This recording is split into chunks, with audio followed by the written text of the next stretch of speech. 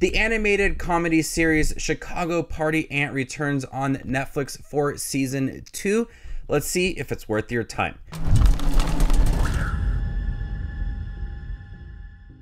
Hey everybody, my name is Justin here. I try to watch everything that hits theaters and on streaming services. If you guys are like me, make sure to hit the subscribe button down below for more up and coming content. Diane, aka the Chicago Party Aunt, is always the life of the party as she helps neighbors and stays true to her mantras. I thoroughly did enjoy that first season of Chicago Party Aunt, so I was looking forward to the second season with Lauren Ash as Diane Dunbrowski, aka the Chicago Party Aunt. We also have Jon and Ike Barinholtz within here, RuPaul, Bob Odenkirk, Tim Meadows, they all make appearances within here. I love the connection to baseball within this series. I'm a huge fan of baseball, so seeing her love for the Chicago Cubs was awesome to see. Wrigley Field, there even is a player on the team that is in the story, a fictional character that is in the series for a good majority of the first half of the series.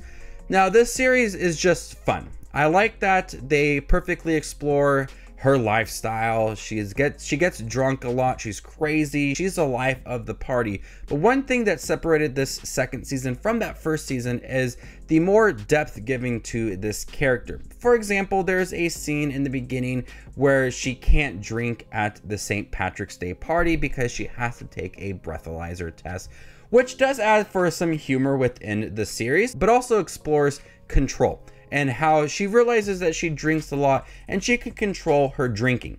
And if she really, really wanted to stop drinking, she could do that. And so there's moments in here where she learns new things that she's capable of. She explores a new relationship and tries to act normal, and it's really hard for her, but she takes it as a challenge. So there's moments where we're adding a lot of depth to Diane. They're fleshing out this character way more than they did in that first season, but they are staying true to who she is she loves her Chicago Cubs. She loves partying. She loves drinking. She loves trying to manipulate people. Everything that she does in that first season, she does in here, and there's just another layer given to this character. There's a lot more of her nephew in here as well, and what he's feeling and what he wants out of life since he did take a leap year. He's exploring new careers and what he actually wants out of life and relationships as well. And that's when the Chicago Cubs player comes into the series. I like that connection to the Cubs and the series as well.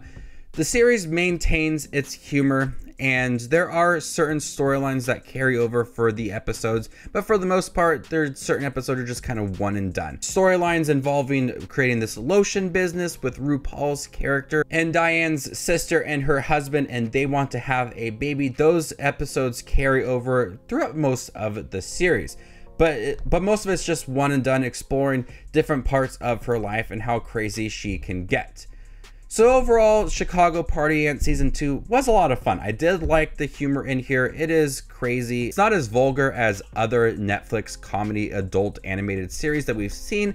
It's just kind of right there in the middle. It's obviously not for kids, but it's not as vulgar as other shows I have seen before. So it's got that nice balance of character development, a story, and humor as well. It's just a kind of easy, fun series. There's only eight episodes to get through, but I did appreciate the depth giving to Diane within here. I love Lauren Ash in here. She is so hilarious, embraces that comedy and that crazy lifestyle in here. The voice acting is really good in all of the episodes as well. I was impressed with the talent behind here.